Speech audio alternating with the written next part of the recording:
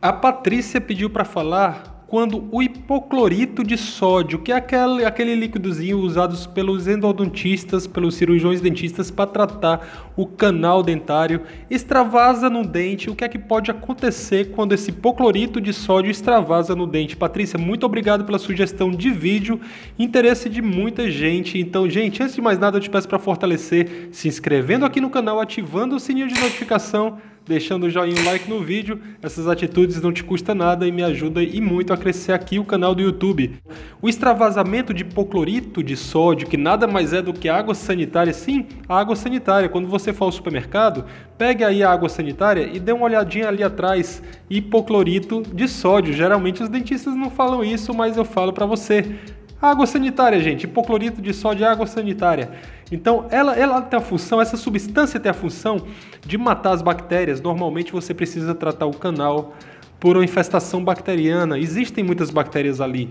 Então, o cirurgião dentista, o endodontista, cirurgião dentista especialista em canais dentários, ele retira o teu nervo central aí, a polpa dentária, e usa o hipoclorito de sódio a fim, com a finalidade de matar, de debelar todas as bactérias e a infestação bacteriana.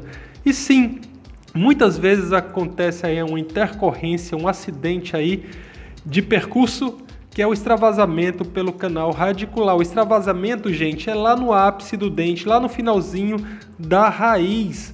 Há um extravasamento, muitas vezes, não são todos os casos clínicos que há o extravasamento de hipoclorito, perdão, de sódio. E o que é que pode acontecer se esse hipoclorito extravasar? O hipoclorito de sódio é uma substância altamente irritativa aos tecidos peridentais aí, em volta da tua raiz aí, ligamentos, osso. Então, pode ocasionar desde uma irritação, uma sensibilidade apenas aí, ou até mesmo a necrose dos tecidos em volta da tua raiz, a necrose tecidual. Isso é sim muito sério.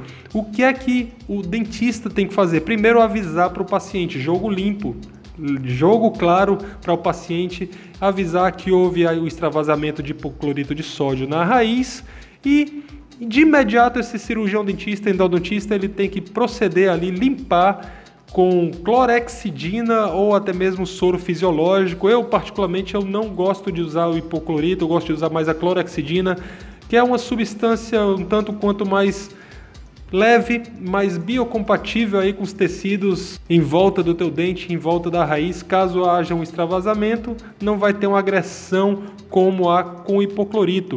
Então, avisar para o teu paciente, dentista, cirurgião dentista, aconteceu isso, avisa para o teu paciente, faz irrigação abundante com soro fisiológico ou clorexidina e prescreve aí uma amoxilina, que é um antibiótico sim para pacientes que são alérgicos às penicilinas, que é do grupo das amoxilinas, pode ser prescrito aí as clindamicinas, mas é prescrito um antibiótico. E gente, paciência que você não vai morrer por causa disso não, tá certo? Pode haver uma necrose dos tecidos em volta em um caso mais extremo, mas Conversa com o teu dentista que ele vai saber proceder. Patrícia, muito obrigado pela sugestão de vídeo. Se você tiver uma sugestão de vídeo, pode deixar nos comentários que se for plausível eu terei o maior prazer em fazer para você. Afinal, esse espaço é meu, mas é seu também, é todo nosso. Seja muito bem-vindo para quem está chegando agora.